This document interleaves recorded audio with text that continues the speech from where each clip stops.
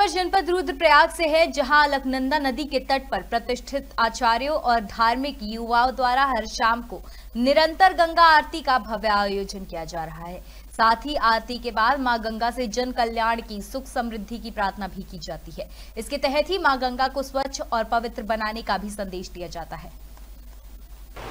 बामन भगवान के जब पाद प्रक्षालन ब्रह्मा जी ने किए थे, जब उनका दूसरा पग सत्यलोक को गया था तो उसी पाद प्रक्षालन के जल से वो जल गंगा के रूप में प्रणित हुआ था और वही जल भगवान शंकर की जटाओं से होते हुए और संपूर्ण संसार को पवित्र करती हुई, ज्ञान और शिक्षा प्रदान करती हुई माँ गंगा अवरिल धारा से यहाँ पर बह रही है।